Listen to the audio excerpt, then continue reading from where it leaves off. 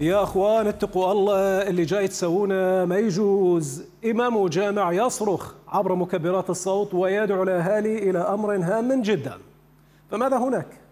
شهود عيان رصدوا وقوع دقة عشائرية لا يعلم ما هو سبب تلك الدقة ذكر المدونون أنها وقعت في قضاء الشطرة في ذي قار. أثارت الذعر والبلبلة والقلق بين المواطنين. الرصاص حينها لم يتوقف أبدا. بدا المتخاصمون برمي الرصاص دون الاكتراث لأرواح الآخرين ولا لحرمة هذا الشهر الفضيل شهر محرم من الحرام ولا لقدسيته. هناك فيديو متداول نشاهده معا. يا إخواننا يا شيعة امير المؤمنين أول ليلة من شهر محرم الحرام شهر الإمام الحسين شهر البكاء والمصائب مصائب زينب مصائب أبي عبد الله وبعضنا يقتل بعض بعضنا يتر على بعض. يا إخوان يا مؤمنين ما يصير هذا الكلام. اتقوا الله في أنفسكم اتقوا الله في عوائلكم وين شيعتنا منا خلقوا من فاضل طينتنا شيعتنا كونوا خيرا لنا ولا تكونوا زينا علينا. المتحدث وياكم أخوكم خادم الحسين سيد نادي البعاد. أول ليلة لمجلس الحسين. أول ليلة لمصاب الحسين. وأنتم تتخاتلون أنتم هذه القوى اللي عندكم لأعدائكم. اجعلوها لاعدائكم والبعضكم البعض.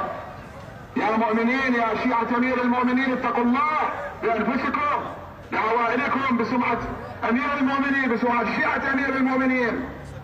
المسؤولية في أعناقكم. الله الله في أنفسكم. الله الله في عوائلكم الله الله في سمعة شيعة أمير المؤمنين. لا حول ولا قوة إلا بالله العلي العظيم. إنا لله وإنا إليه راجعون. معقول يعني إحنا نوصل إلى هذا الحد يا مؤمنين. يا إخوان ارحموا أنفسكم. طلقة تايهة من هاي تقتل إنسان. بريء تروحون إلى جهنم. ما يصير هذا. هاي الأفعال ما تليق بكم. إنا لله وإنا إليه راجعون. أول ليلة لمصاب الإمام الحسين عليه السلام وأنتم تتعاركون. فرغم الصرخات التي أطلقها إمام المسجد دعوة منه ومن أهالي الحي لضبط النفس وحقن الدماء فإن المتشاجرين لم يتوقفوا عن إطلاق الرصاص استمروا على هذا الحال لوقت طويل ما عرضهم للانتقاد والذم والمطالبة بمحاسبتهم. واقعة لاقت تفاعلا واسعا وانتشارا في منصات التواصل الاجتماعي أفرزت كما من الآراء وردود الأفعال والتعليقات. هذه بعضا من تلك النماذج المنتقات. نبدأ من ستار الركابي يقول في تعليقها الله أكبر على هكذا أناس لا تفقه من دينها شيء ولا تحترموا شهر محرم من الحرام. شلون تتعاركون بهيك يوم فضيل؟ وإلى قدسية كبيرة. شلون؟ تعليق من مصطفى. يقول مصطفى فاضل بريء منهم الإمام الحسين عليه السلام. هناك أيضا مداخلة وتعليق آخر من هذه المرة من مصطفى. نذهب إلى تعليق آية فاضل. تقول آية فاضل هو أنتم ما حد يلزمكم ويسويكم عبرة التالي وياكم يوميا متعاركين. هسه تلاقون السبب تافه.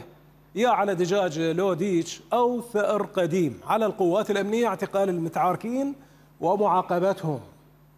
هناك تعليق ومداخلة من نعمة. حتى الجاهلية كان عندهم ضوابط وعهود يحترمونها. فشلون والله هو هذا المنهج الذي أمرنا أهل البيت أن نسير عليه؟ أم إحنا بالاسم فقط مسلمين؟ ما تدرون حرمة هالشهر وحرمة القتل فيه؟ مداخلة وتعليق آخر هذه المرة تعليق من أحمد أبو علي. يقول أحمد أين وصلت الرجعية القبلية والجهل لدى البعض؟